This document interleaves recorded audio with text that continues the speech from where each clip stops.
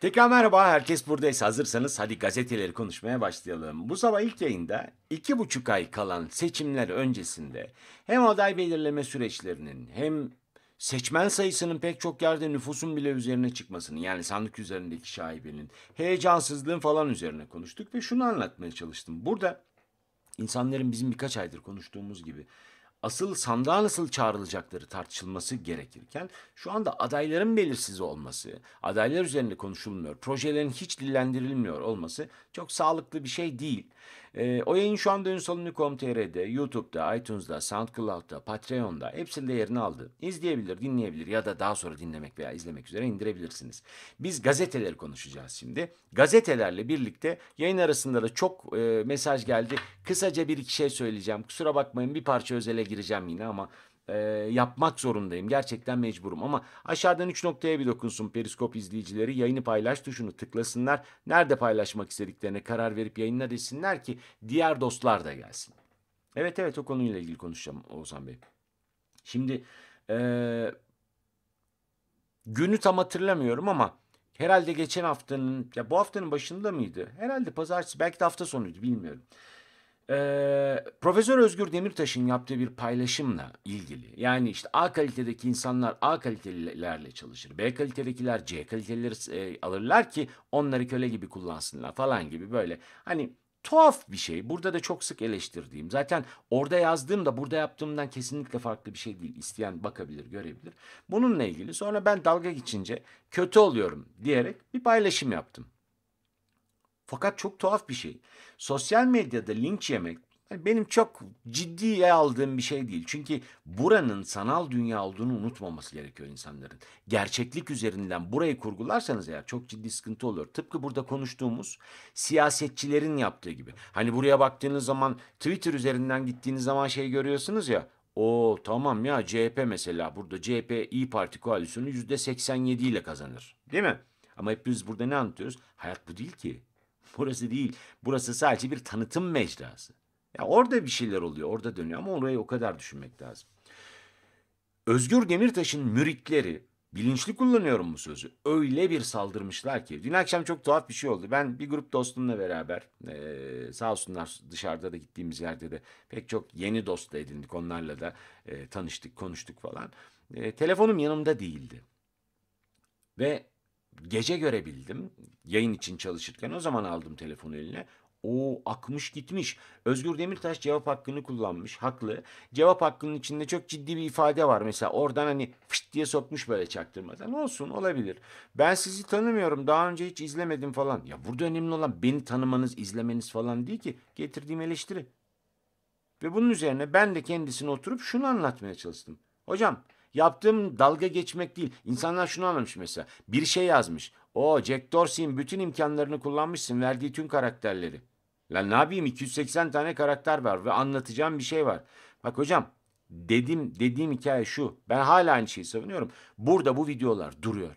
Hiçbirini kaldırmadım ben. Ne dediğim yayında seninle ne kadar dalga geçtiğim ve buradan da söylüyorum. Bundan sonrasında da ne kadar dalga geçeceğimi söylüyorum. Neden biliyor musun? Çünkü senin anlattığın, senin ve benzerlerinin anlattığı bilimsel fikrinize, bilginize hiçbir şey demiyorum ben. O sizin sahip olduğunuz, benim de saygı duyduğum bir şey. Ama bugünün akademik ortamında Türkiye bu kadar baskı altındayken düşünen, okuyan, yazan, hayatını bir şekilde ifade etmek isteyen insanlar bu kadar baskı altındayken bana sakın oturup katma değeri yüksek ürün üretelim falan yazma. Anlatma bunları. Anlatma. Ben Başından sonuna kadar dalga geçtim. Bundan sonra da dalga geçeceğim.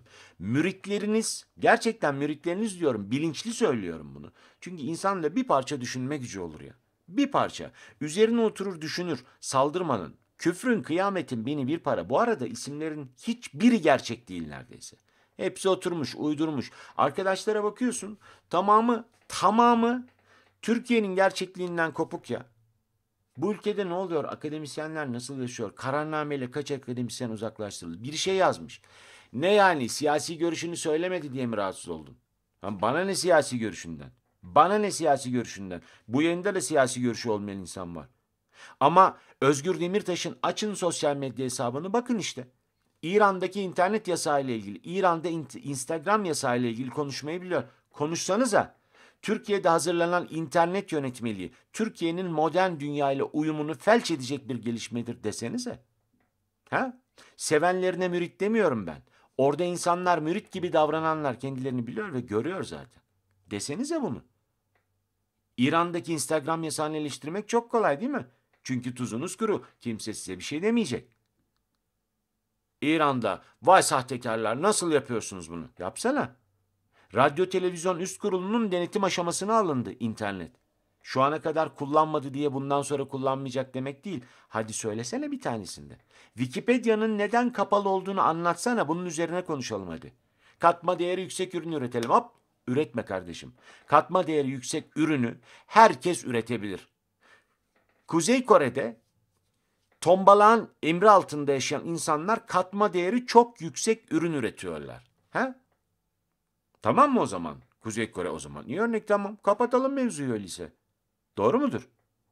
Kapatalım hadi. Kuzey Kore katma değeri çok yüksek ürün üretiyor. Yüksek teknoloji nükleer bombanın dibine vurdu adamlar. Nükleer bombanın dibine vurdu. Silahta, tetişte, terörde önde gidiyorlar. E Tamam mıyız yani? Bu mudur mevzu? Ayıptır ya. Ayıptır, günahtır. Yani insanlar orada sosyal medyadan cevap vermiyorsun diye. Biri diyor ki iyi takipçi kastın mı? Ya bak kardeşim şu yayının yüzde birini 1500 küsür tane video olmuş. Bir tanesini izlesen her seferinde aynı şeyi söylediğimi anlarsın. Buradaki insan sayısının hiçbir önemi yok. Hiç. Bu yayın 37 kişiyle nasıl yapılıyorsa bugün de aynı yapılıyor. Ve emin ol daha da arttığında yine aynı yapılacak. Değişmeyecek. Çünkü buradaki temel felsefe aynı. İzleyici sayısı değil ki benim derdim. Sosyal medyadaki de aynı. Oturmuş böyle duyar kasan abiler var. Bak. Aybüke Yanar. Ünsal Ünlü'yü her gün izliyorum. Burada mısınız Aybüke Hanım? Buradaysanız yüzünüze karşı eleştirmek isterim. Tavrımın ne olduğunu biliyorsunuz. Hani daha önce de söylemiştim. Çok sevdiğim bir arkadaşım, kardeşim söylemişti benimle ilgili. Hayatta aldığım en güzel övgülerden biridir. Demişti ki kavga için kahveden adam aradığını hiç görmedim. Hakikaten dalmayı ondan sonra düşünmeyi tercih edenlerdenim ben. Eğer kavga edilecek bir şey varsa. O yüzden Aybüke Hanım buradaysanız lütfen, lütfen gelin. Çünkü siz gönül rahatlığıyla bunu yazabiliyorsunuz. Ünsal Ünlü'yü her gün izliyorum. Neredeyse tüm yorum, gündem yorumlarına katılıyorum. Ama yaşlandıkça çok gereksiz konuşmaya başladı. Yaşlandıkça mı? Hanımefendi ben bu yayına başladığım zaman 46 yaşındaydım. Şimdi de 49 olacağım. Çok az kaldı. Hani bu aradaki 3 yılda bunadıysam zaten durmayın. Çok ciddi söylüyorum. Bunu bu saatte anladıysanız direkt kaçın. Direkt kaçın. Yok canım kabalık falan değil. Komik. Ben hala gülüyorum. Siz de gülün. Kötü espri yaptığı halde sürekli Cem Yılmazcılık oynamak istiyor. Keşke hiç espri yapmaya çalışmasa biz de yorumları dinlesek. Hanımefendi, işin içinde espri olmadan, gülümsemeden, gülmeden bu ülkenin, bu hayatın çekilebileceğine inanmıyorum ben. Hakikaten kendi hayatımda da, özel hayatımda da öyle yaşıyorum. Vallahi gülmeden katlanılabileceğine inanmıyorum. Eğer ama öyle düşünüyorsanız başka yerlerde bulabilirsiniz. Ciddi söylüyorum. Hele şu hani buna da artık ya bitti falan diye düşünüyorsanız altına da biri destek atmış. Çok komik ya. Aynın, ayn iki ne ile aynın. Bir de espri yaptıktan sonra burnunu çekip yutkunması yok mu? Anlamsız ve itici. Ne? Espri yaptıkta. O söylediğiniz Özcan Deniz ciddi söylüyorum bak. Hani önemli bir şey söyle yapıyor. Öyle bir şey yaptığımı zannetmem. Burunla ilgili hani şu olabilir. Yok yok hayır boş verin değil. Bunu konuşalım. Bunu konuşalım. Mutlaka konuşalım. Ciddi anlamda bir devilasyon sorunum var benim sol tarafta. Çok ciddi hem de. Yayın sırasında bazen hissediyorsunuzdur. Ee, nefeste hani böyle şey oluyor, tıkanma oluyor. Su içiyorum, ara veriyorum falan. Gerekçesi o. Ama burnunu çekip yutkunması yok mu? Ya bunu yapıyorsam hakikaten farkına varırım. Bu yaşlandıkça oturmuş olabilir. Valla bunamayla bağlantılı bir şey olabilir. Yalnız şunu söyleyeyim. Ee, bu yorum yapan insan var ya adını söylemeyeceğim bak duruyor ama Aybüke Yanar'ın A'sı büyük Aybuke Y'si büyük Yanar hesap. Ee, onun yorumunun dün bugün 15 Ocak'ta pardon 15 Ocak'ta yaptığı yorumun altında. Adını söylemeyeceğim ki çünkü derdi o. Bu eleman Burada adı geçen eleman YouTube'da videoların hepsinde duruyor. Birinci yılın ortasından itibaren, ilk videolardan itibaren. Ben hiçbirini silmiyorum biliyorsunuz, orada duruyor. Abi ben de video yapıyorum. Beni de e, yayınlarında paylaşır mısın, videomu izler misin diye bir sene boyunca aralıksız bana mesaj attı. Hala duruyor. Hala duruyor. Ve ben bir videoyu izledim. Ya gerçekten çok kötü. Bak kardeşim gururunu kırmak için ne tanıttım ne anlattım. Yani kendi içinde yap. Kendi içinde yap diye. Ama sevgili Emel yazmış. Yazmayın yazmayın. O meşhur olmaya çalışıyor çünkü. Ya geleceğiz gazetelere. Bunu anlatalım da. Çünkü bu önemli. Demir Lady Rumuzlu izleyici yazmış. Boş verin gazetelere gelelim. Hayır. Bakın bu niye önemli biliyor musunuz? Özgür Demirtaş'ı ben çok ciddiye alıyorum. Çok ciddiye alıyorum. Yaptığına saygı duymuyorum. Bir kez daha söylüyorum. Çünkü bugün Türkiye'de ben akademisyenim, ben aydınım, ben e, sanatçıyım diyen herkesin kendisine uzatılan her mikrofonu, kendisine açılan her gazete köşesine, sunulan her imkana mutlaka özgürlük alanının ve demokrasinin geliştirilmesi gereğini mutlaka yerleştirmesi lazım. Hop katma değeri yüksek ürün üretelim. Yok. Bak tekrar söylüyorum. Kuzey Kore katma değeri yüksek üründe dibine vurmuş durumda. Tamam o zaman kapatalım biz. Kuzey Kore olalım mı? Sorun bu değil. Sorun bizim özgürce hayatımızı yaşayabileceğimiz bir düzene kavuşmamız. Bunun için de herkes elindeki imkanla ortaya çıkmak zorunda. Ve bunu yaparken Amerika'daki işsizlik verilerini değerlendiriyorsan Türkiye'deki işsizlik verilerini açık açık anlatmak zorundasın. Neden böyle yaşandığını, neden böyle yaşandığını hep beraber anlatmak zorundayız. Anlatabiliyor muyum? Sosyal medya deyince hayatta korktuğum bir şey değil. Gerçekten hayatta korktuğum bir şey. Çünkü yapan insanın ne olduğunu görebiliyorsunuz. Bakın size özellikleriyle anlattım. Bu insanlar duruyor. Ben silmeyeceğim. Sadece iki kişiyi, sadece iki kişiyi bu süreç içinde dün gece gördüklerimden engelledim. Onlar da çok ağır küfretmişlerdi. Hakikaten çekilecek gibi değil. O kadar. Ama onun dışında yok. Gerçekten yok. Neyse yani insanın birini e, aşağılamak, bir şey söylemek falan filan değil. Çünkü Özgür Demirtaş da benimle niye dalga geçtiğinizi anlamadım yazınca ama araya bir de şunu sokuşturunca hakikaten şık değil bu hocam. Hakikaten şık değil. Ben sizi hiç izlememiştim. E olabilir. Burada izlenmek, dinlenmek değil ki. Tam tersine bak bütün müritlerin, bütün müritlerin, takipçilerin demiyorum. İçinde gerçekten ya bu adam ekonomiye ilişkin başka bir şey anlatıyor diye izleyen çok insan vardır eminim. Ama müritlerin var düşünmeyen, düşünmeyen, sadece bağıran, çağıran bilmem ne. Bu insanlar. Onların yaklaşımı tam da bununla körükleniyor işte. Yazdığımı da okuyayım size. Hani herkes görmek zorunda değil.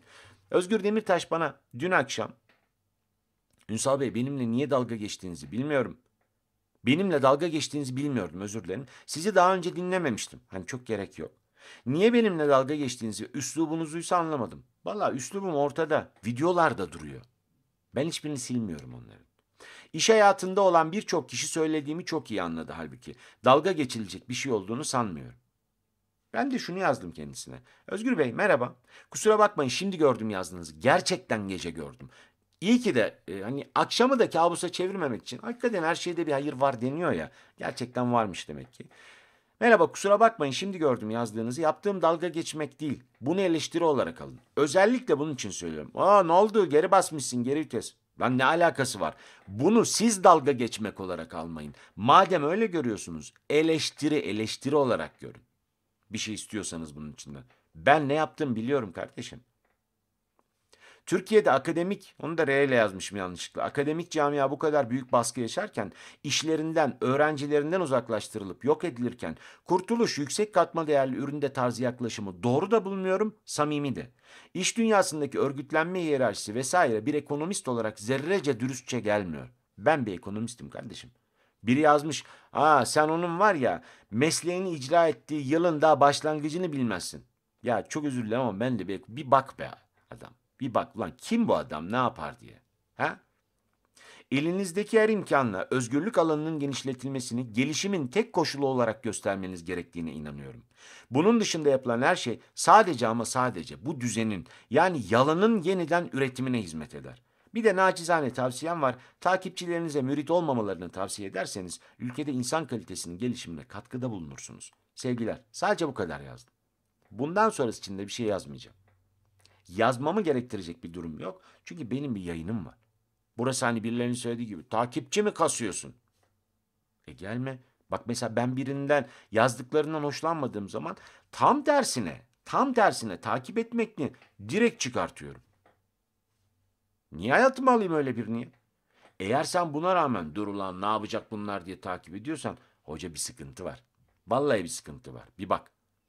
Bir bak, baktır. Bize mürit mi demiş? Siz kimsiniz efendim?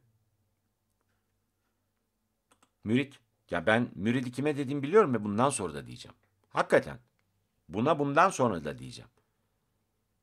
Yok canım neresi? Hayır alakası yok.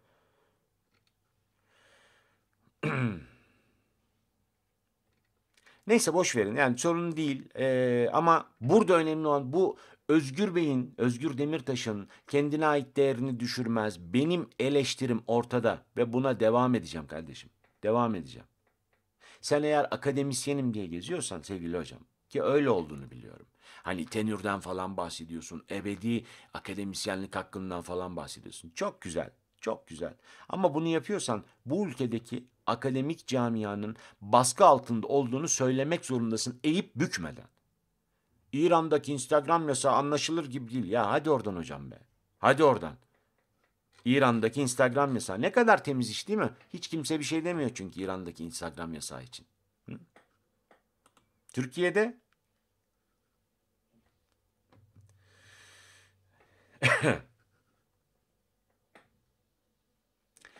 Evet, hadi biz artık kendi işimize bakalım. Gazetelere dönelim. Ee, gazetelerde ne olduğunu görelim. Zaten pek bir şey göremeyeceksiniz de. Cumhuriyet'te çok şık bir haber var. Onu paylaşacağım sizinle. Çok, hakikaten çok güleceğiz ya. Ee, hürriyetle başlayalım her zaman olduğu gibi. Hayalden gerçeğe diye bir insan haberi var. Kayseri Emniyet Müdürlüğü sokaklarda dilenmekten kurtarıp okula kazandırdığı çocuklardan biri olan 10 yaşındaki İlayda'nın hayalini gerçekleştirmesini sağladı. Aşağıdaki 3 noktaya bir dokunur musunuz lütfen e, Periskop izleyicileri? Yayını paylaşmayı unuttuk. Yayını paylaş tuşunu tıklayın. Nerede paylaşmak istediğinize karar verin ve yayınla deyin ki e, onlar da gelsinler olur mu? Ya boş verin abi Özgür Demirtaş'ın müritleri takip etsin etmesin. Geçin ya. Geçin. Bunun bir önemi yok güzel kardeşim. Boş ver. İsteyen takip eder, isteyen etmez. Bu bir televizyon yayını değil. Yani kumanda ele gezerken lak diye karşına çıkmıyor. Nasıl yapıyorduk? Bunadım, bunamaya başladığımdan beri yapıyorum. Tamam. Kayseri Emniyet Müdürlüğü'nde e, polisler çok güzel bir şey yapmışlar ya. Gerçekten. Sokakta dilendirilen çocukları onları önce toplayıp bu düzenin içine çık dışına çıkarttıktan sonra hem üstlerini başlarını giydirmişler hem de alıp çocukları Erciyes'e götürmüşler. Kızaklarla falan kaydırmışlar ya. Beraber eğlenmişler. Hakikaten çok güzel bir şey. İşte olması gereken hikaye bu. Tam da bu. Saldırı Trump'ı durduramaz. Membiç'te 4'ü ABD'li 14 kişi öldü. Ee, aslında ölü sayısının 21'e çıktığı söyleniyor. Ee, Suriye'de çekilmek tartışılırken tam Amerika Birleşik Devletleri açısından Membiç'te bomba patlatıldı. Ve ardından da e, Amerikalıların çok sık gittiği bir restoran olduğu söyleniyor. Amerikan askerleri de var ölenlerin içinde. Erdoğan da açıklamasında bu e, Trump'ın çekilme kararını etkilemez. Hatta tam tersine daha da e, hırslandıracaktır dedi. Kocaoğlu'nun adaylık sinyali CHP'yi karıştırdı. Haberi yapanlardan biri Rıfat Başaran söylemiştim. Hani ben de e, dün bunun üzerine çalıştım ama sonuçta bu arkadaşların da emekleri var. Sevgili Rıfat'ın da Cumhuriyet Gazetesi'nden de okuyacağım size. Mahmut'un, Mahmut Lıcalı'nın haberiydi galiba oradaki de. Onların da emekleri var. Hani yaptığımız iş birbirine benzeyecek. Kimsenin emeğini çalmış gibi görünmek istemem. Ellerine sağlık. İlk yayında çok konuştuk. Aziz Kocaoğlu'nun ee, Ekim ayında ben bir daha aday olmayacağım demesinin ardından dün CHP Genel Merkezi'ndeki paldır küldür hem de herkes bakın eminim Rıfat da Mahmut da aynı şeyi e, aynı tavrı gördü haber kaynaklarıyla konuşurken herkes şunu anlatıyor. Acayip bir gerginlik vardı ortamda. Yani 27 Kasım'da şimdi yayının arasında baktım. Ee, hani Kasım'ın son haftası, Kasım'ın son haftası deyip durmuşum ilk yayında. 27 Kasım tarihte tam tarihi. AKP Nihat Zeybekçi'nin İzmir Büyükşehir Belediye Başkan adaylığını açıkladı. 27 Kasım. 10 gün sonra 2 ay olacak. CHP'nin yok. Bölünme korkusu Avam Kamerası'nın Am- Avrupa Birliği'nden çıkış için hazırlanan anlaşmayı reddetmesi İngiltere'yi derin bir kaosa sürükledi ama biliyorsunuz Theresa May hükümeti güven oyu aldı. Güven oyu aldı da nereye kadar gidecek? Yeni bir anlaşma görünüyor ufukta. Yeni bir e, Avrupa Birliği'nden çekilme planı çıkacak gibi ortaya. Bakalım. İstanbul'da Barca davası dünyaca ünlü İspanyol spor kulübü FC Barcelona lakap olarak kullandığı Barça ismini İstanbul'da tescil ettiren Türk tekstil şirketine dava açtı. Haber acayip komik bir haber. Barcelona'nın avukatı dava açıyor. Diyor ki Barça bizim şeyimiz, lakabımız. Adam da diyor ki Hacı abi Barça senin sıfatın olabilir de Ali Öziçer adı. 22 yıllık firmayız biz. Ve çok affedersin Barça dediğin şey tekne demek İtalyanca'da. Kusura bakma da biz tekne ismini kullanıyoruz. Zaten yazı karakterine, kullandığımız logoya falan bakarsan alakası yok bu işin. Ankara'da dün e, sitelerde mobilyacılar çarşısıdır orası biliyorsunuz. Yani Ankara'yı bilenler bilir. Mobilyacılar çarşısında e, büyük bir yangın çıktı. Beş Suriyeli hayatını kaybetti. Hani tam da böyle gitsinler ülkelerine işte burada ne yapıyorlar falan denilirken üzerlerine kapı kapatılmış. Kilitlenmiş beş muhtemelen kaçak işçi hayatını kaybetti. Ozan Kabak yayın arasında acayip mesaj gelmiş. Ozan Kabak'la ilgili konuşmayacak mısın abi? Galatasaray'ın altyapısından yetişen 19 yaşındaki pırlanta gibi bir çocuk. Dün Stuttgart'a transfer oldu Ozan Kabak. E, 12 milyon euroya yani şöyle 12 milyon hesaplanıyor. 11 milyon Stuttgart alacak verecekmiş. E, 1 milyon da net Ozan'a Ozan Kabak'a verileceği için 12 milyon eurodan bahsediliyor. İşte Galatasaray elindekileri veriyor. Galatasaray'ın kimsesi yok ki. Parası da yok. Yani Türkiye'de bence spor açısından önemli bir transfer ama bence müthiş bir şey olacak. Dünyanın en büyük stoperi olur umarım. Biz de gururla izleriz kendisini. Ya katliam bile diyebiliriz. Doğru. Sitelerdeki o hikayeye. Katliam bile diyebiliriz. Üstüne kapı kapatılmış çünkü insanların. Niye? Ya çıkmasın kaçması. Kölelik düzeni kardeşim bu. Kölelik düzeni bu. Değişmiyor ki. Sadece yasada yok şu anda. 80 kadınla yemek yedi. Kim? Süha Özger mi? Yok ya alakası yok. Burak Özçivit. Orta Doğu'da ha, pardon.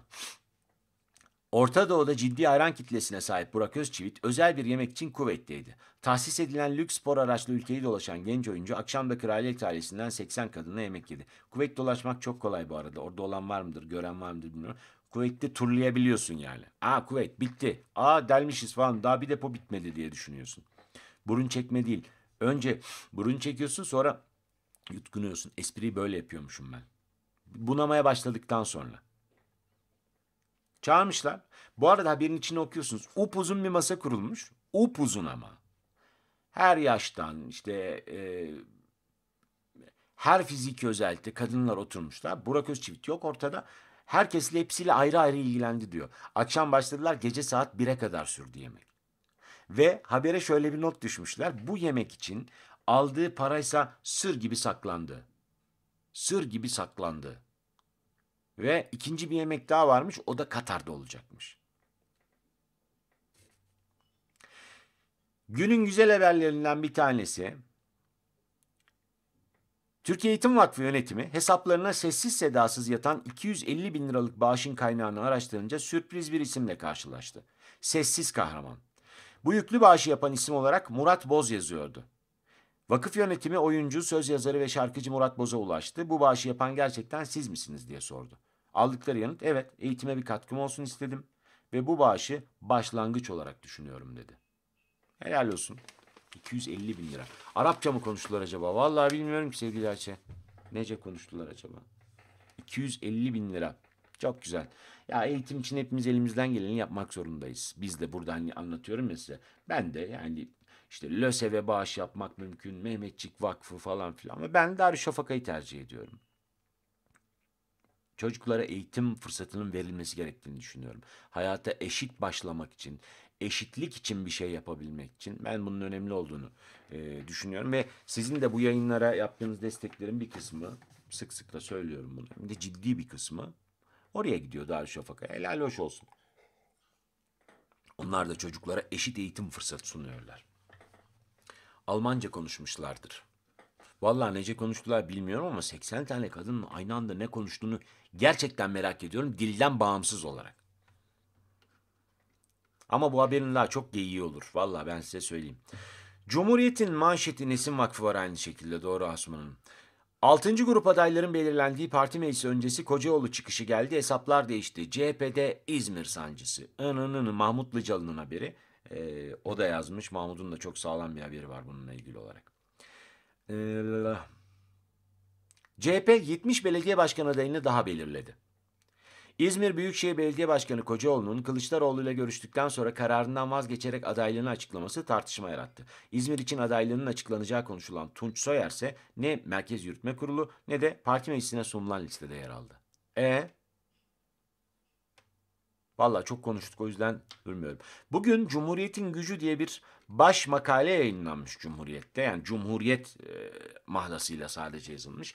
Dün sizi hatırlıyor musunuz? Sabah e, Hürriyet Gazetesi'nden Mehmet Soysal'ın yazısını okudum. Ve dedim ki bu yazı çok tartışılmalı. Çünkü yapılan şey aslında bizim yıllardır bas bas bas bas bağırdığımız, bas bas bağırdığımız, o yırtına yırtına söylediğimiz şeyin kabulü. İlhan Selçuk doğru söylüyordu. 2009 yılında eğer İlhan Selçuk dinlenseydi, onun söylediklerine bakılsaydı biz 15 Temmuz'u yaşamazdık yazmıştı hani. Hatırlıyor musunuz? Cumhuriyet Gazetesi bugün onu almış. Cumhuriyet Gazetesi onu almış ve yazmış. Takır takır. Hepsini anlatmış. Bu arada demin bir izleyici yazdı. Aynı şey benim de dikkatimi çekti. Bakın arkadaşlar bu bazılarınızı çok rahatsız edecek. Anlıyorum. Ama hani hep burada konuştuğumuz hikaye var ya. Darbeye nereden kimden gelirse gelsin karşı olmak. Sen böyle bir yazı yazıyorsun. Evet biz haklıydık hep demokrasinin yanında yer aldık. 27 Mayıs'tan askeri harekat 12 Eylül'den darbe diye bahsediyorsun. Ya olmaz kardeşim olmaz. Bak Türkiye'de kendini sosyal demokrat olarak tanımlayan hani solda olanlar falan ne neyse işte orada tanımlayanlar insanların hesaplaşması gerekti, gereken durumlardan biri bu. O da darbe. 27 Mayıs da darbe. Biz bakın ben mesela benim ki ben yaşlıyım hani bunamaya başladım. Yaşlandıkça acayip saçmaladı. Ee, benim yaş kuşağım Çoğunuz da hatırlayacaksınızdır muhtemelen bunu. Biz 27 Mayıs'ı Hürriyet Bayramı olarak kutlamış bir nesliz. Hürriyet Bayramı. Öyle kutlandı yıllarca. 27 Mayıs Hürriyet Bayramı olarak kutlandı. Ama değil. Değil. Darbeye her şeyle karşı çıkacağız. Her şey bakmadan, tanımlamadan. Şimdi insanların aklına tabii şu geliyor. 27 Mayıs askeri harekattı. Neden? Çünkü ha anayasa ve Hürriyet Bayramı doğru. Ben Hürriyet Bayramı diye kalmış aklımda. Arkasından yapılan 1961 Anayasası e, Türkiye'ye çok ciddi demokratikleşme ve özgürlük alanı tanıdı. Ya doğru da kardeşim bunun yapılabilmesi için o dönemde yaşanan şey bir askeri darbeydi ya. Darbe darbe adını doğru koyalım bunu. Birine askeri harekat öbürüne darbe diyemezsin. Bu doğru değil. 4 yaşındaki çocuklar türbanla camide. Milli Eğitim Bakanlığı kendi programlarında din eğitimi için 5 yaşını bitirmiş olmak şartı ararken Diyanet ki benim vergimden düşen her kör kuruş haram zehir zıkkım olsun. 4 ila 6 yaşındaki çocuklar için başlattığı Kur'an kursu projesine hız verdi. Proje kapsamında Diyanet İşleri Başkanı Ali Erbaş 4 yaşındaki çocukları camiye götürdü. Etkinlikte erkeklere takke, kızlara türban takıldı. Diyanet okuma bilmeyen çocukların Kur'an-ı Kerim tilavet ettiğini, ilahi ve şiir okuyup dua ettiklerini savundu. Ya bunu savunabilecek insan var mı içinizde ya? Hakikaten. Bunu savunabilecek insan var mı? Ben Müslümanım, ben inanıyorum kardeşim diyerek aynı zamanda bunu savunabilecek insan var mı? Dört yaşında çocuk ya. Ya insanda biraz utanma olur canım ama utanma ne gezer bunlarda ya? Nesin neyiyle utanacak 4 yaşında çocuk be. Tarımı sıfırladılar ama bu ülkede Müslümanların sorunu kardeşim bu. Kendini Müslüman olarak tanımlayanların hatası bu. Sen sesini çıkartacaksın. Ben konuştuğumda zaten ciddiye almaz ki bu konuda kimse. Sen konuşacaksın, sen söyleyeceksin. Yapamazsın, dört yaşında yapamazsın bunu kardeşim de. Sen söylemezsen kusura bakma. Hani işine geldiğinde diyorsun ya dilsiz şeytan. Vallahi dilsiz şeytanın dibisin. Tarımı sıfırladılar. Ot, et ve soğanın ardından ambalajlı domatesin de ithalat vergisi kaldırıldı. Hadi bakalım. Ne olacak şimdi? Türkiye'de ne üreteceğiz biz? Çok güzel değil mi? Ya Carrefour'sa genel müdürüyle bir e, röportaj yapılmış gazetede bugün Cumhuriyet Gazetesi'nde. Mutlaka denk gelirseniz, mutlaka denk gelirseniz okuyun. Çünkü çok acayip bir şey söylüyor. Bakın orta fiyat limitinde bir marketler grubundan bahsediyoruz. Carrefour'sanın diyor ki Kutay Kartallıoğlu 2018'in ikinci yarısı çok zor geçti. Yüksek enflasyondan dolayı artan fiyatlar müşterilerimizin alım gücünü düşürdü. Bir üründen 1 kilo alan 500 gram almaya başladı. 2019'un da bu zorlukların nispeten devamıyla geçmesini bekliyoruz. Bak bunu ben söylemiyorum. Doğrudan bu ülke. Yani diyorsun ya bu ülkeye yatırım yatırım yapmış adam söylüyor. Zor hocam zor diyor. İnsanlar insanlar buradan para kazanamıyor diyor. Buradan para kazanamıyor insanlar diyor. Biz söyleyince hani bir işe yaramıyor ama ABD çekilme hazırlığı yaparken Münbiç'te intihar saldırısı 20 kişi öldü. IŞİD sahnede evet. Erdoğan da bunun üzerine dedi ki biz IŞİD'i temizleriz. Bir gün paramız olmasına rağmen bu ülkeler bu ürünleri satmazlarsa ne yapacağız? Haklısınız. Domateste, salatalıkta sorun olmaz da direniriz. Ama diğerlerinde yani şunu düşünün sadece ya. Türkiye gibi ekonomisi göbeğinin deliğinden enerji vasıtasıyla Rusya'ya, Ukrayna'ya bağlı bir ülke enerji açığı yaşadığında ne hale gelir? Şu yaşadığımız kış günlerinde mesela. Ne hale? Bir, bir sene yaşadık iki sene önce hatırlayacaksınız. Ukrayna gazı bir kesti. Currup diye gitti bir anda her şey. Ama Kıbrıs açıklarında gaz buluruz. Eli kulağındadır. Bekleyin. Vallahi bak çok az yani 31'inde seçim var. 10 güne 15 güne ben bekliyorum müjdeli haberi. Biliyorsunuz onun çok erken yapılmaması gerekiyor. Haberin unutuluyor çünkü. Gaz buldu. O ne zaman buldu? Hatırlamıyorum ya öyle bir şey yok. Ha, olmadı belki de ya ben yanlış hatırlıyorum. O yüzden hatırlanacak bir yerde kalması lazım. Onun için bir 15-20 günü bulur gazın bulunması. Şubat'ın benim tahminime göre Şubat'ın ortalarında hatta gaz bulunur. Sabah manşeti beni alevler değil vicdansızlık yaktı. Cumhuriyet Halk Partili belediyenin git kendini yak dediği mağdur işçi konuştu. Gururuma dokundu. Beni en çok vicdansızlıklar yaktı. Alacakları ödenmediği için CHP'li altı Ataşehir Belediyesi önünde bedenini ateşe veren kaynak ustası Ramazan Karabacak hayat tehlikeyi atlattı. Çok şükür yırtmış. Ya başbakanlığın önünde kendini yakan insanlarla ilgili sabah gazetesi haber yaptı mı hiç? Bu haberin yapılması yanlış demiyorum. Bu işinin sorununa mutlaka bakmak lazım. Ama başbakanlığın önünde kendini oradaki demirlere zincirleyen, üzerine gaz döküp yakan, meclisin önünde kendini yakan. Yapıldı mı bir kere haber? Bu gazetecilik değil yani. Ama bak şu gazetecilik. Amaç teokratik totaliter rejim. Ankara 4. Ağır Ceza Mahkemesi'nin gerekçeli kararında terör örgütünün karanlık hedefleri tek tek sıralandı. 15 Temmuz'dan önce açılan FETÖ çatı davasının gerekçeli kararı açıklandı. Kararda 17-25 Aralık'ta hükümetin istifasına yönelik eylemlerin anayasayı ihlal suçu oluşturduğu, FETÖ'nün nihai amacının devleti ele geçirip teokratik totaliter rejim kurmak olduğu belirtildi. E tamam. Burada eksik o zaman bu iddianame. Bu heriflerin, bunu yapmak isteyenlerin ki bunu yapmak istediklerini insanlar söyledi. Mesela Ahmet Çık'ın kitabı günlerce durdu burada hatırlıyor musunuz? Aylarca.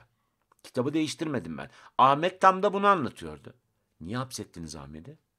Niye hapsedilmesini ön ayak oldunuz? Niye biz bunları konuşamıyoruz? Katma değeri yüksek ürün üretelim. Hop. Hadi bakalım. Tamam. Sadece portakal, limon, kötü lahana vardı. Sorduğunda halden alınacak gibi değil dedi pazarı. Doğrudur valla. Doğrudur. Krizden çözüme diye Mehmet Barlas bugün bir yazı yazmış. Yazının içeriği biraz daha tabii geniş kapsamlı bir şey ama başlığı aldığı bölüm hakikaten çok komik ya. Zor günler güçlü bir iradenin ve ortak aklın işbirliği sayesinde kolay atlatılacağı benziyor. Amerika ile ilişkiler 3 günde nereden nereye geldi? Kız ister misin evlenelim? Amerika'yla, Amerika'yla. Hani ilişkimiz bu kadar iyi bir yere gelmişken. Allah'ım ya Rabbim ya. Tamam hepsi düzeldi bitti. Sözcünün manşeti Kocaoğlu bombası. O da Cumhuriyet Halk Partisi'nde dün yaşananları konuşuyor. Cumhuriyet Halk Partisi'nde İzmir adayının açıklanması bir hafta ertelendi. Kocaoğlu bombası daha önce adaylıktan çekilen İzmir Belediye Başkanı Aziz Kocaoğlu'ndan dün sürpriz bir hamle geldi. İzmir adayı açıklanmadan önce yeşil ışık yaktı işler karıştı. Çok konuştuk. Başak Kaya'nın haberi e, onun da adını analım. Erhan Usta MHP'den ihraç edildi. E, Cumhur İttifakı ile ilgili konuşmuş son olarak hatırlayacaksınız. İttifak bizim için olmazsa olmaz değildir. Ee, biz partimizin çıkarlarını üstte tutarız diye. Hop ekonomik bir tavırla kendisi direkt parti disiplin kuruluna sevk edilmişti. Ve e, disiplin kurulundan karar çıktı. E, attılar. MHP'deki mecliste, MHP'nin meclisteki vekil sayısı da 49'a düşmüş. Yaşa takılanlar yine meclise takıldı. Şimdi şu Özgür Demirtaş hikayesinde bir de emeklilikte yaşa takılanlar grubundan müritler var içinde. Bu arada yayın, yayına girmeden önce bir izleyici yazmış tekrar. Sen bu EYT'cilerden korkmuyor musun? Yani neyinden korkayım kardeşim? Ben neyinden korkayım? Ben olmayacağını kaç aydır söylüyorum burada? Ha? Kaç aydır söylüyorum? Sıra bakın daha da devamını da söylüyorum. Olmayacak. Olmaması gerektiği için değil, oradaki haksızlığın düzeltilmesi gerektiğine ben de inanıyorum. Yapmayacaklar diyorum. Niye? Ya niyesi yok, para yok, para. Para yok. Tamam. Bunlardan bir grupta takılmış EYT'cilerden. Alta e, şeyin Özgür Demirtaş'ın altına çatır çatır. Zaten acayip sahtekar bir tip bu. Hiç güvende vermiyor. Biz de yayınlarını bir iki kez izledik. Hiç ya tırış bu falan yazmışlar. Yaşa takılanlar yine meclise takıldı.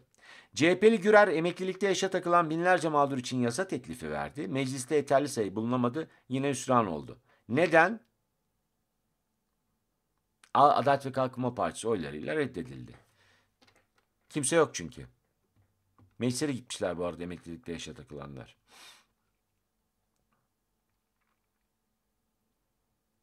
Rektöre 335 bin liralık kiralık araba. Ne yaptın acı ya? 335 bin liralık. Ya Özgür Demirtaş ayıp falan etmedim ben. Bartın Üniversitesi Rektör Profesör Doktor Orhan Uzun için 3 yıllığına bir Audi kiraladı. Isıtmalı deri koltuklu A6 model aracın yıllık kirası, şoför ücreti, akaryakıt bedeli ve KDV hariç 111.600 lira olarak belirlendi. Yıllık ya. 111.600 lira. Audi A6. Bunları rentekarla mı aldınız? Rentekarla. Bir gün tarım ülkesi tarıma tövbe etti manşetiyle çıkmış bugün. Erdoğan dışarıdan almayacağız dedi ama gümrük vergisi kalktı, ithalatın önü açıldı. Kuru soğanın ardından buğday, arpa, mısır, pirinç, kuru baklagil ve domates ithalatında da gümrük vergisi sıfırlandı. Ne kaldı başka? Kenevir. Keneviri kendimiz üreteceğiz. Oh, ondan sonra bunların hiç dert yok, tasa yok. Vallahi billah. Ülkeyi yani uzaydan baktığın zaman Türkiye şöyle görünecek diye hayal ediyorum. Böyle ülkeden sürekli bir 9-8'lik ritim yükseliyor ama ülke görünmüyor. Çünkü üst hafiften dumanla kaplanmış durumda. Yani herkes böyle sürekli döttürüyor. Sürekli. Sabahlar olmasın. Valla. Benzine zam geldi mesela atıyorum iki buçuk lira. Ah diyor. Yapıştır. Bir zamanlar tarım ülkesi olan Türkiye'de artık hem üretici hem de tüketiciyi daha zor günler bekliyor. Ne söylenir bilmiyorum ki ya. Dur size okuyacağım haberi unuttum ya. Dur. Cumhuriyet Gazetesi'nden atladık. Çok şık bir haber ya. Hani e, Özgür Hoca şeye takılmış durumdaydı ya. İran'da ya bu terbiyesiz İranlılar Instagram'a yasak koymuşlar ya. Bizde bizde yok. Bizde yok.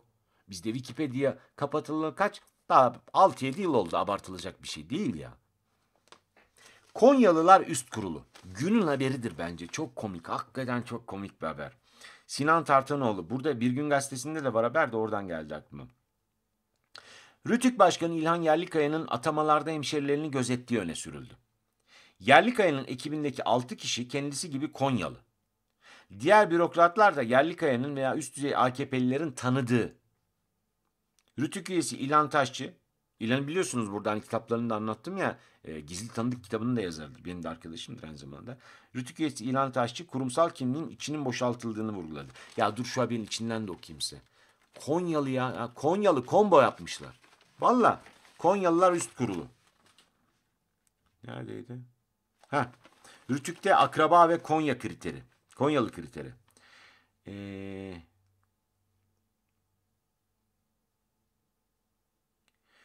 İlhan Yerlikaya'nın yakın ekibindeki 6 kişi kendisi gibi Konyalı. Üst düzey bürokratlardan Konyalı olmayanlar da tanıdık. Bir ara TRT'de de ee, neydi? Amasya. Amasyalılık vardı.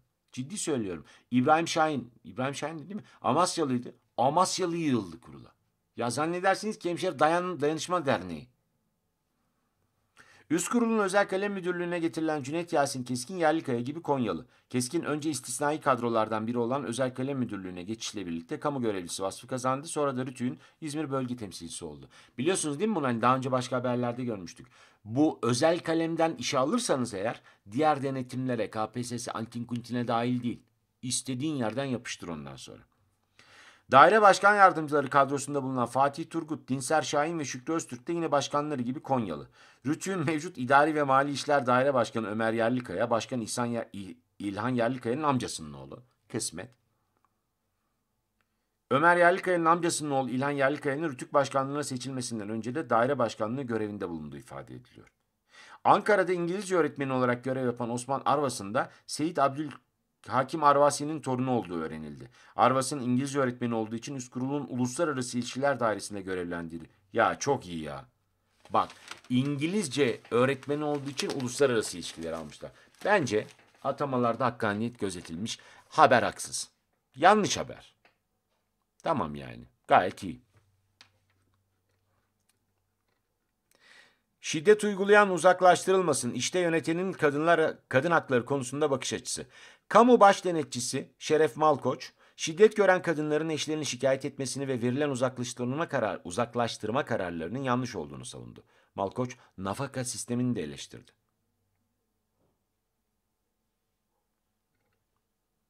Ya biz hakikaten hangi yıl yaşıyoruz ya? Paralel evren bu mu acaba? Ya paralel evren buysa biz niye paralelini yaşıyoruz ha? Biraz da başkaları yaşasın paralelini. Biz gerçeğini yaşayalım. Evrensel adres hayali seçmen transfer. Kısmet o ya. Onu çok kasmamak lazım. Şırnak'taki usulsüzlükler seçim kuruluna bildirildi. Son seçimlerde AKP'nin yüksek oy almasının tartışıldığı Şırnak'ta yerel seçim öncesi seçmenlerin usulsüz kaydırıldığı ortaya çıktı. HDP yaptığı incelemeler sonucunda il ve ilçe seçim kuruluna başvurularda bulundu. Beytüşşebap ilçesinde 51 yatak kapasiteli öğretmen evinde 422 kişinin ikametinin bulunduğu tespit edildi. 51 yatak var, 422 kişi kalıyor. Orada tam olarak ne yapıyorsunuz? Soru bu. Soru bu. Yani 51 kişilik yatak var, 422 kişi kalıyorsanız.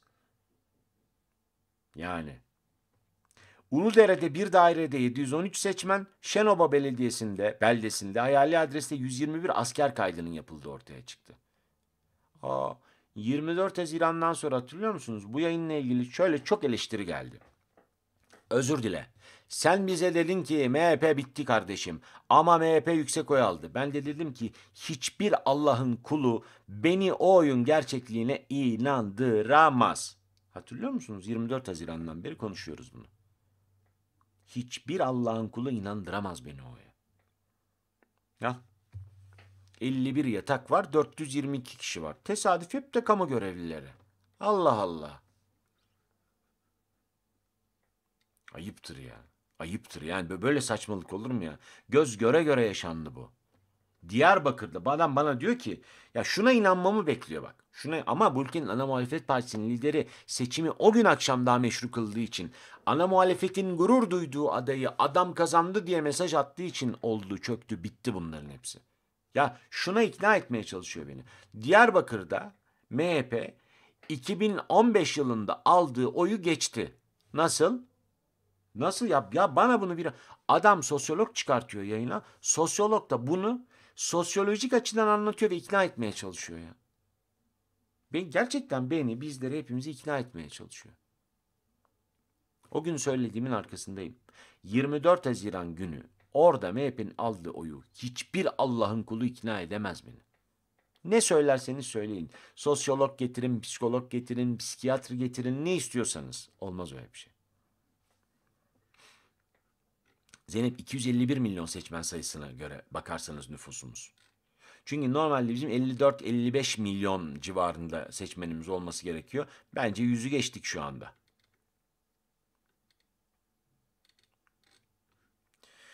Tarıma yerli darbe sıfır gümrük furyası. Milyonlarca tonluk ithal yetkisi. Türk Toprak Mahsulleri Ofisi'ne gümrüksüz 2 milyon 600 bin ton bakliyat ve hububat ithal yetkisi verildi. 2 milyon 600 bin ton diyor ya. Bu ülkenin fasulye, nohut üreten, tarımla uğraşan insanları neredesiniz? Neredesiniz? Hiçbir şey söylemeyecek misiniz? Bakın. Çok sevdiğim iki kardeşim var. Ee, Ebru ile Altar. Ee, onlar ikisi de aslında sağlam profesyoneller olmasına rağmen. Yani ikisinin de eğitimi, donanımı falan çok yeterli. Hani bu arkadaşlar var ya müritler ben dalga geçerken önce burnumu çekip sonra yutkunuyorum bunadığımdan beri. Mesela aslında isteseler tam onların arasında şahane bir hayat yaşayabilirler. Şahane, çok güzel para kazanarak. Ama bu insanlar şu anda çiftçilik yapıyorlar. Çift bayağı bildiğiniz çiftçilik yapıyorlar Manisa'da. Karı koca bayağı bildiğin hani ot biçiyor, ekin topluyor, bilmem ne hepsiyle uğraşıyor. Dün sevgili Altar hani dün şeyle konuştuk ya tarımla ilgili birkaç şey konuştuk yayın sırasında. Altar mesaj atmış. Demiş ki süt fiyatları %15 arttı, yem fiyatları %90. Yem %90, süte sadece %15 zam geldi. Çiftçiler hayvanlarına bakamadıkları için sürekli kesime yolluyorlar. Göreceksiniz 6 ay sonra açız. Hayvanlarını kesiyor insanlar. Ve geçen sene 80 liraya satın aldığımız gübre şu anda 180 lira diyor. 180 lira. E hadi anlatın bana şimdi. Biz tarım hop katma değeri yüksek ürün üretelim. Hadi. Hadi televizyon ekranlarında bayıldığınız programlar var ya. Tarım tarım tarım ben tarım demekten dilimde tüy bitti. Dedin de bana anlatsana gül yüzlüm. Sen tarım derken bu ülkenin tarım politikasını eleştirebildin mi bir kere delikanlı gibi? Ha? Çıkıp söyleyebildin mi? Tarım tarım tarım. Ha? Ya kusura bakmayın ben insanların elleri kirlenmeden sokakta oynayabileceklerine hiç inanmadım. Bundan sonra da inanmayacağım. Gerçekten. Düşüncesini söyleyemeyen bundan korkan insana ben saygı falan duymuyorum. Duyamıyorum. Vallahi duyacak yerlerim ağrıyor. İnsanların çok hoşuna gidiyor. Gazete köşelerinde yazıyorlar mesela. Çok güzel yazmış. Bayıldım yazısına ya. Ya ne yaptın kardeşim? Salla yazayım azıyı ya. Ne yaptın sen? Ne yaptın? Ne anlattın? Ne söyledin? Ya işte böyle olmayın ya. Yemişim bunun aydınlığını ben. Ya bunu yaparken geçen se önceki sene önce ön, önceki seneydi tabii ya. Ünlü yazar Paulo Coelho bu sosyal medya hesabında Twitter'daydı galiba. Herhalde Twitter üzerinden bir şey yazmış. Aslında yazacağı bir e, romanın içinde karakterinin ağzından söyleteceği bir söz. Ben aforizmalara çok takılmam biliyorsunuz ama söz aslında çok açıklayıcı. Diyor ki tam da açıklamayla ilgili. Açıklama yapmayın insanlara diyor. Çünkü dostlarınızın buna ihtiyacı yoktur. Düşmanlarınız da zaten inanmayacaktır. Sallayın açıklama yapmayı. E doğru da açıklama yapmak zorunda kalmamak için gerçeği dürüstçe konuşmak zorundayız biz ya. Ki insanlara şunu söyleyebilelim hep beraber. Ya kardeşim bak beni konuşturma zorla, küfrettirme beni. Benim anlattığıma bak. Ondan sonra oturup burada bunu tartışmak zorunda kalıyoruz işte. Sen Türkiye'de seçim gerçeklerini konuşmuyorsun, tarımın gerçeklerini, dövizin dengesini, Merkez Bankası'nın attığı ahbap çavuş ilişkilerine rağmen ekonomistim diyorsun, şunu söylemiyorsun. Bir dakika kardeşim sen ekonomiden anlamıyorsun diyemiyorsun. Niye? Niye diyemiyorsun? Söylesene. Hakaret değil ki bu. Sen ekonomiden anlamıyorsun. Senin müritlerin bana diyor mesela. Sen ekonomiden hiç anlamıyorsun. Söylesene. Ondan sonra İran'da Instagram'ı yasaklamışlar. Çok yazık, çok yanlış. Değil mi? Çok yanlış. Mahfi Hoca oturup kitabını yazıyor adam ya. Kardeşim bu ülke kalkınacaksa böyle kalkınacak diye. Ve oturup abuk sabuk katma değeri yüksek ürün üretelim hop hadi bakalım falan böyle yapmıyor ya. Açık açık söyle kardeşim. İmalı söz duydunuz da yani iman nedir ya? İman nedir yaşadığımızın içinde? Yeni Şafak'ın manşeti Amerika'ya gitme bombası. Türkiye ile Amerika arasında güvenli bölge müzakereleri sürerken Münbiç provokasyon, provokasyona sahne oldu. Şehir merkezinde Amerikan askerlerine hedef alan bombalı saldırıda 4 asker öldü, 3'ü yaralandı. Patlamayı DAEŞ üstlendi. Yok DAEŞ üstlenmez. IŞİD'dir o, IŞİD'dir. Öyle pislik aşağılık katiller olunca IŞİD'dir onlar. Sen saklıyorsun ama. Ancak bölgedeki kaynaklar bunun Amerika'nın çekilmesini durdurmaya yönelik senaryo olduğunu belirtiyor. Ne kadar rahat söylüyorlar değil mi? Ne kadar? Ünsal baba pirzola yiyorsun gelmişsin fakirlere şekil yapıyorsun ayıp ya o. Ben mi? Belli oldu mu ya şimdi yayın arasında ağzıma iki kalem attım görüldü mü? Şurada masada hani kafama yutkunuyorum ondan işte.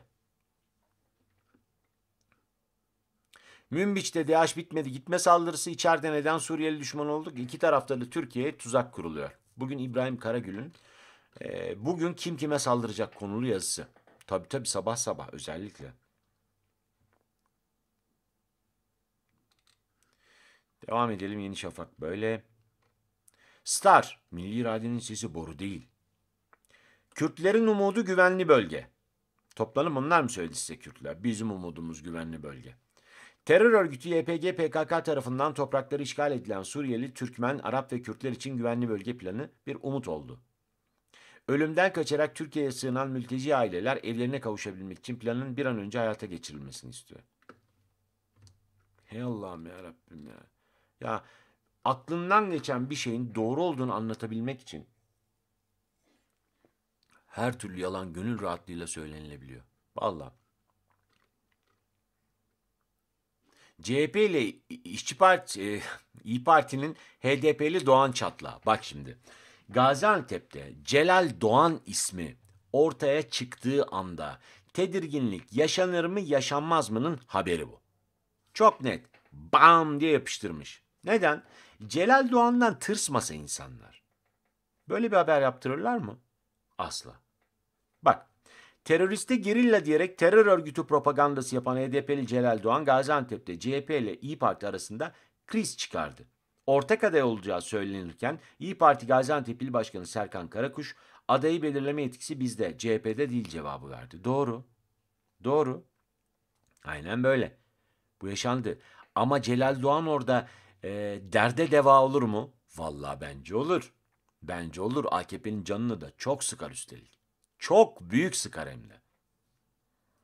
Ha teröriste gerilla demiş. İşçi partililer, e, iyi partililer bununla ilgili kesin kendileri eleştirilerini getireceklerdir. Bir şeyler söyleyeceklerdir. Doğru. Ama karşı tarafta Cumhur İttifakı diye gezinen partilerin içinde yani eğer teröriste gerilla demek suçsa mesela Sayın Öcalan ifadesini Adalet ve Kalkınma Partileri ne kadar kullandığını Milliyetçi Hareket Partiler nasıl yuttu? Nasıl sindirdiler bunu ya? Yalan mı kardeşim? Yalan mı?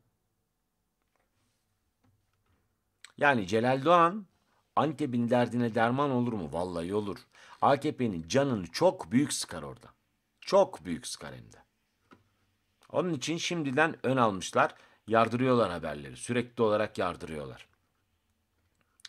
Akşam Allah senden razı olsun diye çıkmış. Afrin'de bir bacağını feda eden Üsteğmen Özgür Ocak 37 şarapnel yedi 3 kez kalbi durdu. Ayağa kalkınca ilk mesajı Allah milletimden razı olsun oldu. Sizden de razı olsun. İzmir restleşmesi. CHP'nin İzmir adayının Tunç Soyer olduğunu WhatsApp'tan öğrenen Kocaoğlu Genel Merkez'de Kılıçdaroğlu ile kapıştı. WhatsApp'ten mesaj geliyor düşünsene. Hani sabah geyik yapıyorsun. Günaydın, günaydın, günaydın falan geyiği yapıyor millet. O arada İzmir'in adayı Tunç Soyer oluyor oğlum diye yardırıyor CHP'liler. Hani o gruptan mesaj geliyor Aziz Kocaoğlu'na. Aziz Hoca evde oturmuş kahve içerken diyor ki yürüyün Ankara'ya gidiyoruz. Uzun süre bekledikten sonra Kılıçdaroğlu ile görüşebilen Kocaoğlu, Soyer'in yerine Bornova Belediye Başkanı Atilla'yı önerdi. Soyer'de kararlıyız yanıtı üzerine Kocaoğlu anketlerde öndeyim diyerek adaylık sinyali verdi ama bu teklifler reddedildi. Ya onu bir geçeceğiniz ya. Vallahi bir geçeceğiniz ya.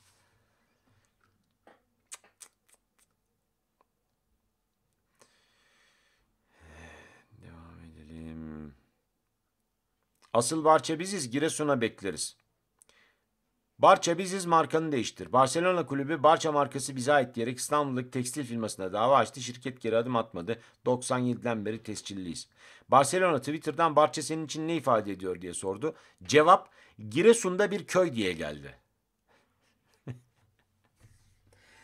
Adam bizle uğraşılmayacağını hakikaten daha hala öğrenemedi bunlar ya. Barça senin için ne ifade ediyor? Giresun'da bizim köy. Barça köyü. E selam olsun yazmış o zaman onun arkasından da. İkinci amatör kümede mücadele eden Barça Gençlik Spor Barcelona'yı davet etti. Ya çok güzel. Hakikaten çok güzel ya. Barça senin için ne? Bizim köy. Nasıl köy? İşte dere. Şu anda orada oturuyorum. Evet abi soruyorsan bu cevabı da alabilirsin. Bekleyeceksin. Bekleyeceksin yani böyle bir şey gelebilir karşılığında sana.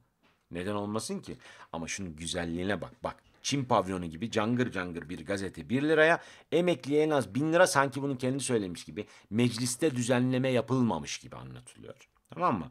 Takvimden milyonlarca kişinin merakla beklediği yazı dizisi, kart borçlusu, kredi borçlusu, takibe düşen, banka borcundan kurtulma yolları. Yapılandırmanın kapsamı genişledi. Artık tüketici kredisi borçları içinde yapılandırma var. Faruk Erdem'in kaleminden sayfa 8'de. 1000 lira. Bugün emekliye en az 1000 lira. Ozan Kabak haberi var. Süper öneriler var. Süper. Neden?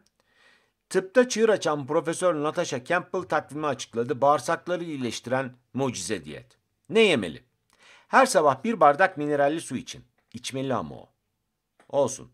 Evde yapılmış et ve kemik suyu tüketin. Oğlum o da içmeli. Olsun. Zencefil çayını ihmal etmeyin. Ya ne yem yemek kelimesini mi bilmiyorsun sen fiili? Birinde ısırmaca var, öbüründe yutkunuyorsun. Hani ben çok yaşlandım, bunadımdan beri yapıyorum ya, burnumu çekip. Ha. Öbüründe yutkunma var sadece. İçmekle yemek arasında fark var Türkçe'de, ciddi hem de. Ne yemeli diye üç atış yapmışlar, üçü de yenmiyor söylediklerinin. Ne yememeli? Yemeklerde, yemeklerde sofra tuzu kullanmayın. Trans yağlardan uzak durun. Fazla baharatlı yemekten kaçının. E bunu ben de söylerim size. İçinizde bunu söyleyebilecek yok mu? Trans yağ yemeyin. Öyle cipsli mipsli tüketmeyin. Abi yemekten kalktıktan sonra abur cubur sakın atıştırmayın. Bir de fazla baharat midenizi yakar. Ha oldu işte. Ne oldu ben şimdi tıpta çığır açan insan mı oldum? Ama günün yemeği ha bu arada süper önerilerde bunlar sıvı olduğu için ama ne yemeli bölümündeler. Günün tarifi de bal kabağı çorbası. Olayla ne alakası var? Yok. Dün de ıspanak vardı. Sabri tükendi. Sabrı tükendi değil, sabri tükendi. Futbolcu Sabri Sarıoğlu parayı göremedi. Gözlük mağazası kepenk indirdi. Pilot eşi Yağmur sosyal medya hesabını sildi. Çiftin Amerika'da kendilerine lüks bir ev baktığı öğrenildi. Bu durum yurt dışına mı gidiyorlar sorusunu akıllara getirdi. Sabri tükendi. Sabrim kalmadı. Aslında sabrim kalmadı daha güzeldi ha. Bak sabri tükendi deyince çünkü sabri parayı pulu yitirdi de anlaşılıyor. Sabrim kalmadı daha güzeldi. Ne yaptınız? Kenevir üretimine geçtiniz o zaman siz yani. Manşetlerice saçmalaşmaya başladığına göre. Membiç bombası, dün Membiç'teki o patlama. Burnu düştü. Ney? Burnu düştü. Cüzdan. Artık ama kalmadı ki. Sağ olsun hani Türkan Saylan bu ülkenin kaderini değiştirdi. Cüzzamla, leprayla birebir mücadele için karış karış elinde çanta ömrünün 50 yılını harcadı ya. Öyle değil. İstanbul'da bankacı Serap Şeh iki kez ameliyat olup burnunu düzelttirdi. 7 yıl sonra burnu eğrilince doktora dava açıp 40 bin lira tazminat istedi. E nerede düştü burun? Eğilmiş yani tam düştü demeyelim de. Ha Ayşe İkici'nin burnu. Onun düştüyse normal 165 yaşında insanın düşer o. Onun için zombiler mesela yürürken hani sallandığında bütün zombi dizilerinde öyle ya çok sallandığında kolu falan düşüyor. Burun burun düşer o. Dikkat. Aile yasta. Rothschild baronunun eşi Lady Serena öldü. Rothschild ailesinin baronu Jacob Rothschild'in eşi Lady Serena 83 yaşında hayata gözlerini yumdu. E bir ne yapalım bir Ergün'e bir şey gitmek lazım ya taziyeye. Ben gelemem de şimdi Ankara'dan bölemem. Bu hafta zaten bir yayın eksik yaptık. İstanbul'da olanlar bir taziye şey yapın. Vallahi sevaptır. Bir helva mı kavurursunuz ne yaparsınız? Karpuz cebe girdi. Antalya'da bir tarım firması zeytin kadar karpuz üretti. Sebep? Vatandaş şoka girdi. Yemelik değil yutmalık. İlletminati. Illuminati değil bak. İlletminati. Rihanna iç çamaşırı tasarladı. Marka olarak da soyadı Fenty'yi kullandı. Ürünlerinde Illuminati'nin sembolleri yer aldı. Baba Ronald Fenty buna çok kızdı. Kızının tarikat tarafından kandırıldığını açıkladı. Ha. Evet. Gasprika. Ben sabah bunu anlamaya çalışırken çok zorlandım. Şöyle yapıyorum kendimi bir yandan da hani e, hafızam biraz daha gelişsin diye haberin sadece başlığını okuyorum içini tahmin etmeye çalışıyorum. Yıllardır yapıyorum çok eğlenceli. Bunu tahmin edemedim Gasprika. Türk Hava Yolları'nın uçuş ekibi Güney Afrika'da saldırıya uğradı. Gasp çetesi pilot ve hosteslerin eşyasını çaldı. Eşyalarını çaldı denmez eşyasını. Eşya şeyin çoğulu zaten. Eşyasını çaldı. Şey, şeyler onun karşılığı eşya. O çoğul. Eşyasını çaldı. Neden? Afrika'da çaldığı için, Afrika'da gasp yaptığı için Gasprika. Ya ben sabah düşünemedim. Vallahi gelmedi aklıma. Baktım böyle boş boş uzun uzun. Hakim cezayı kesti. Normal. Ama ayıyı, cezayıdaki ayı bölümünü kırmızı yazarsanız haber değişiyor. Ankara'da bir koca eşini hastanelik etti. Mahkeme karar verdi. Ayı resimli ilan dağıtacak üzerinde boz ayılar güçlerini eşlerine karşı kullanmazlar yazacak. Helal olsun. Helal olsun bu cezayı veren hakime. Ben bir ayıyım yazdırsa ayıya hakaret olacak ama ya ayı dediğiniz hayvan bile yapmıyor bunu diyerek gezdirmek gerçekten çok ince ceza. Helal olsun hocam. Vallahi tebrikler. Ağız kokusuna ada çayı. Eşya şeyin çoğulu. Evet. Şey tekil, eşya şeyler demek zaten. Uzmanlardan, biliyorsunuz uzmandan ağız kokusunu bitiren tavsiyeler. Ada çayıyla gargara, çayın içine limon, nane çiğneyin. Bunu, bunu da derim ben. Bunu derim bunda bir şey yok ki. Yakın tehlike. Amerika büyük bir kaos çıkarmak zorunda. Ergün Diler. Ekonomik kriz beklentileri lehine çevirirse savaşa gerek kalmayabilir. Aksi takdirde 3. Dünya Savaşı çok yakın. Ne? 3. Dünya Savaşı. Oğlum hasta mısın? 3. Dünya Savaşı'na nereden geldik ya? 3. Dünya yakın yakın. Ben sordurdum. Zaten 2'den sonra 3 geliyormuş. Bundan sonra çıkacak Dünya Savaşı'na mecburen 3. Dünya Savaşı deniyormuş. Bence yakın olduğunu düşünüyorum. Neden? Öyle yani. Bana öyle geliyor. Bugün akşama ne yemeği var? Bir fikir verin. Ee, bal kabağı çorbası. Takvim gazetesinden. Ee, Natasha Campbell yazdı demin. Dedi ki akşama bugün doğacak çocuklara isimler işte e, kız olacaksa Lady Serena, erkek olacaksa İrfan. Öyle yani arası yok bizde. Dağınık bir parça. Onun dışında da böyle yaklaşıyoruz. Hepinize çok teşekkür ediyorum. Sağ olun, var olun. İyi ki varsınız. İyi ki dünyanın bir yerinden. Aynı şeye inanmadığımızı bilerek üstelik buraya geliyorsunuz ve konuşmaya razı oluyorsunuz. Evet, derdimiz tamamen bu. Biz zaten yerden bakmıyoruz. Siyasi görüşlerimiz aynı değil. Bazılarının yok siyasi görüş. O kadar aynı değil yani. Dini görüşler, inançlar, inançsızlıklar hepsi farklı burada. İnsanların etnik kökenleri, cinsel yönelimleri bizim için hiç sorun olmadı. Bundan sonra da olmaz. Bizim tek derdimiz var. Aynı ülkenin insanlarıyız biz. Kimimiz içinde, kimimiz binlerce kilometre uzakta. Türkiye deyince burnumuzun direği sızlıyor. Hakikaten ve bu cumhuriyette, 96 yıl önce kurulan bu cumhuriyette iyi yaşamak telaşındayız. Hepimiz bunu yapabileceğimizi biliyoruz. Bunu yapabilmek için birbirimizden korkmadan konuşmamız gerektiğini biliyoruz. Bunu konuşabileceğimizi, yapabileceğimizi, birbirimizden tırsmayacağımızı çok iyi biliyoruz. Bunun için de bir araya geliyoruz. İyiymiş bu yayın mantığı da güzel. Bu yayın sürsün benim katkım olur mu diye soranlar. E olur. Patreon.com'da küçük katkılarınızı iletebilirsiniz Ünsal hesabına.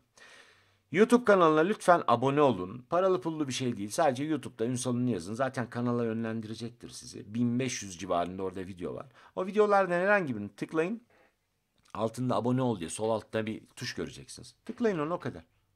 Ne para ne pul hiçbir şey olmayacak. Yayınları atlayıp zıplamadan izleyin ama. Ee, yayını desteklemenin başka yolları var mı? Var. Ee, ünsal.ünsalünlü.com adresine bir mail atarsanız e, ben size o yolları anlatan bir mail yanıt veririm. Ama en büyük desteğiniz hiç değişmedi, hiç değişmeyecek. Burada olun. Burada olun birbirimizden korkmadan konuşalım. Çünkü kurtuluş yok tek başına. Ya hep beraber ya hiçbirimiz. Yarın sabah saat 9'da ölmez sağ kalırsam ben yine geleceğim buraya. Siz de gelirseniz hayatımızı konuşmaya devam ederiz. Herkese çok güzel bir gün. Yarın sabah görüşünceye kadar da mutluluk ve huzur diliyorum. Tekrar birlikte olacağız. Hoşçakalın.